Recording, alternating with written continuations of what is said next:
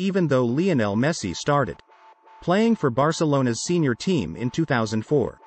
It didn't take the team long to realize that the young Argentine stood head and shoulders above the other players.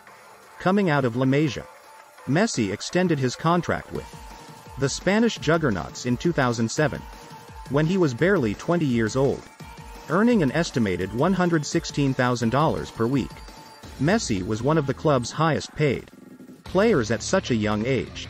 Since then, Lionel Messi has amassed annual incomes of millions of dollars and consistently made Forbes's annual list of the top 10 footballers in terms of earnings.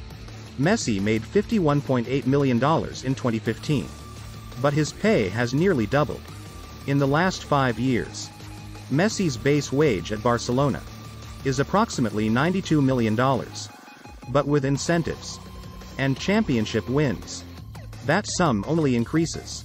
According to Forbes, Lionel Messi will make a staggering $126 million this year. The 10-time La Liga champions endorsements and sponsorship deals, together with his wage at Barcelona, have contributed significantly to his rise to billionaire status. According to Forbes reports, Messi earns about $34 million from endorsements. And one of his largest deals was when he partnered with the sportswear company Adidas.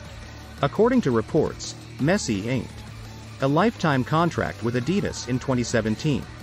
That pays him over $12 million a year. In addition, Messi has agreements with Pepsi, Gatorade, Huawei, MasterCard, and a number of other well-known companies, which have brought him a lot of money over the years.